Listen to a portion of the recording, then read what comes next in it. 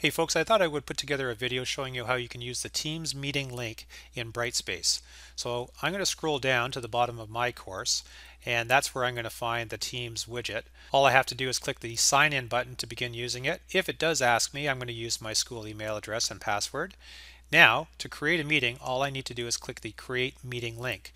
Now, the problem with this app is that this meeting doesn't get stored in your calendar or anywhere in your Office 365. If you don't capture that link that it's going to provide for you at the end of this process, then you're not going to be able to get to the meeting, and either are your kids. This utility also does not send out any notifications to either yourself or your students. Anyway, let me show you how you can use this. I'm going to create a meeting. Um, getting started with MEL period one. I'm going to set a date for it. I'll set this for tomorrow. And the time, I want my students to get in here at 9 o'clock. And the meeting is going to end at the end of the day at 3 o'clock. And now all I have to do is click the create button at the top of the window now this is what I'm talking about right here. This information is great and if this information was stored in the widget that would be fantastic but it doesn't get stored there. Once you refresh this page that link is gone. So you have to click copy the meeting link. If you don't do that that meeting is going to be gone. You can go ahead and set your meeting options if you like. I like to make sure that it's only people in my organization. I leave everything else here except for the presenter. It looks like everybody can present but I'm going to say only me so that the students aren't messing around in there. I'm going to click Save and I'm done. Now if I go to a new tab and that's going to be my meeting link right there and it is kind of messy but let me show you how you can use it. So there's a few ways that you can post this link on your home page for your Brightspace course.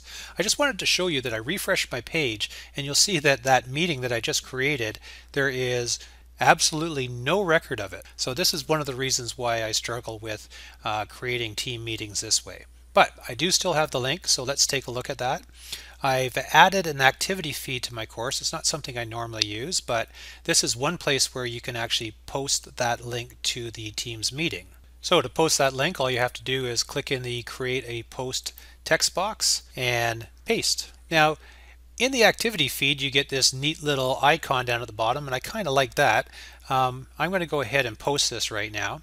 And the one thing I don't like is all of this extra text here. So I'm going to click on this ellipsis over here and I'm going to edit the post. And I'm going to take this message right here and I'm just going to simply type in here, see you in our meeting and get rid of that because the students can click on this attachment down here and get to the team meeting.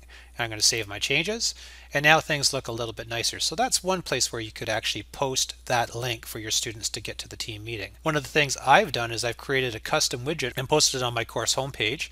So now the students know to come to this widget every day and simply click on the link and then they can go to the meeting.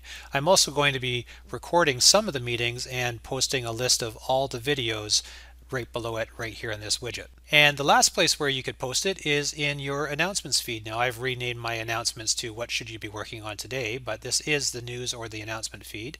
You can click the little drop down and new announcement. You might want to call this team meeting. Now all you have to do is paste the link. Now again, this is a mess here, so I wouldn't really want my students to see that.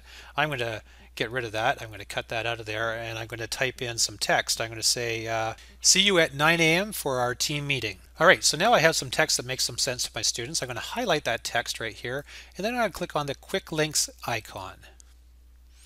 And I'm going to scroll down to URL and I'm going to paste that URL right in there.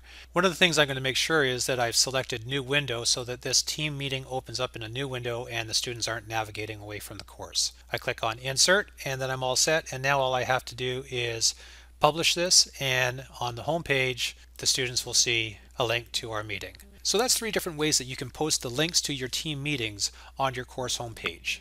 Another way you can let your students know about a Teams meeting is simply send them an email. So I've created a new email message. I'm going to send this off to all of my students.